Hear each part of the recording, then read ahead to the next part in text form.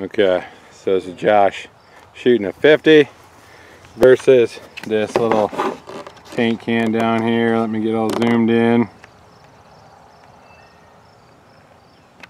All right, I'm ready. Oh, snap. It's so pretty.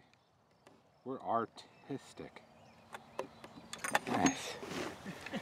Good shot. Worked out like a plan.